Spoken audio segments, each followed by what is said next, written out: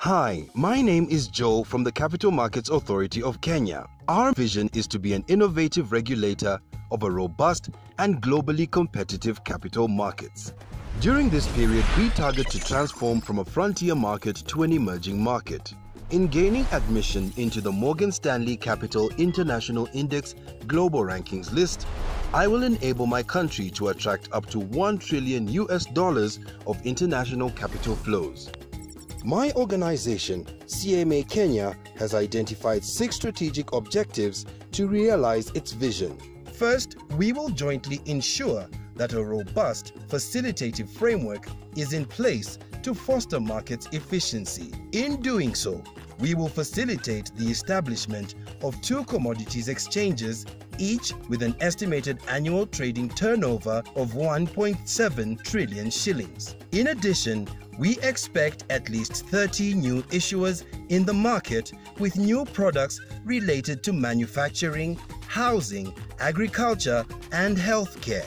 The next objective is to facilitate the development, diversification, and uptake of capital market products and services. This will result in the increase of the percentage of adult Kenyans currently investing in the capital markets from 90% to 30%. The third objective is to ensure sound market infrastructure, institutions, and operations, resulting in six months turnaround to conclude investigations and an achievement of delivery versus payment status. Objective number four is to leverage technology in order to drive efficiency in the capital markets value chain. The outcome of this will be five fintechs admitted to the regulatory sandbox and a level of automation of greater than 75%. The fifth objective is to ensure optimal efficiency and effectiveness of CMA, resulting into 72% customer satisfaction index and aggravated staff performance. And lastly, enhancing strategic influence resulting in two counties using capital markets to raise funds.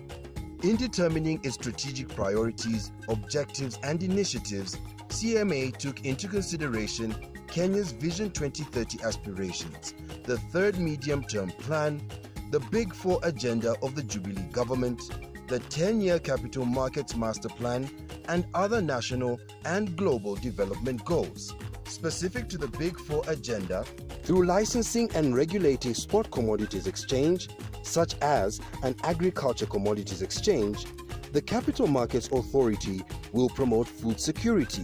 We will have sufficient supply of quality and affordable food, stable food prices, empowered farmers and producers, guaranteed payments to farmers, backed by certified warehousing receipts. By approving products such as housing, mortgage bonds, and asset backed securities, the CMA will catalyze the success of the government's 500,000 low cost housing target by 2023. This will result in affordable house ownership, high quality life through planned green housing, and home equity ownership through real estate investment trusts through facilitating issuance of green bonds, social bonds, and asset backed securities and private equity financing to support socially impactful green projects such as afforestation, electrical train systems, green roofing, and other climate change projects, the capital markets will impact positively in driving the health agenda. In addition, the authority will require integrated financial reporting to ensure its licensees adopt environmental, social, and governance principles. The outcome will be cleaner air, water, savings through use of renewable energy, and better health. The authority will review the current policy and regulatory environment to attract larger companies and SMEs involved in manufacturing to raise funds through capital markets to fund expansion plans for enterprises involved in the manufacturing sector. This will result in increased employment, higher earnings and business expansion, higher disposable incomes, savings strains, and investments.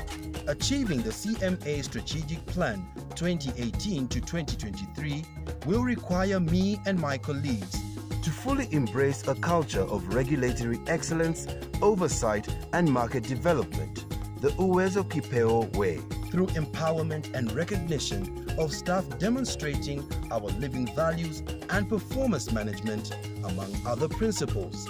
By realizing our key performance targets over the next year, I will join my colleagues and the CMA board in celebrating achievement of our mission to be the premier choice and ultimately to be a part of Kenya's success in becoming an international financial center.